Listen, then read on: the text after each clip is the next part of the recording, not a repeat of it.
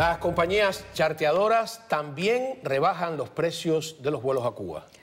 Esta es una medida que se produce tras la decisión de la isla de reducir los altos precios que le cobraba a estos vuelos por aterrizaje. Rolando Nápoles nos explica. Cuba anunció una rebaja para los próximos cinco meses de casi el 50% de los precios de los vuelos charter de La Habana a Miami. Un gesto que parece buscar la supervivencia de las compañías charteadoras ante la férrea competencia de las grandes aerolíneas estadounidenses. La rebaja en precios de los vuelos charter está, se está refiriendo en este caso particular a los pasajes que se compran en Cuba.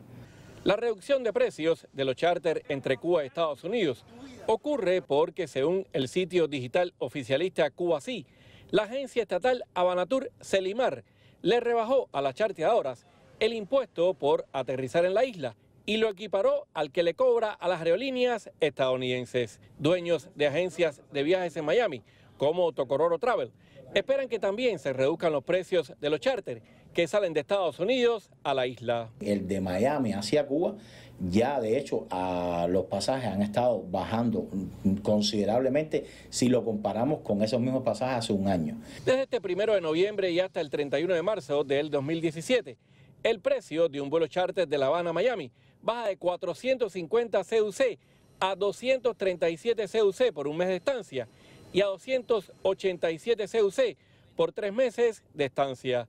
No habrá penalidad por cambio de fecha, pero sí el pago de 25 CUC por impuesto de salida de Cuba. Sería muy buena idea que los bajaran, sí.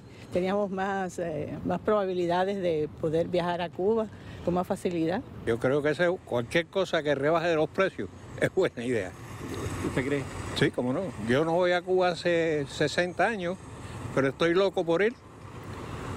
Y esta rebaja de precios de los vuelos charter anunciados por Cuba sería también entre los viajes que van desde la isla hacia otras ciudades de Estados Unidos. Rolando Nápoles, América Noticias.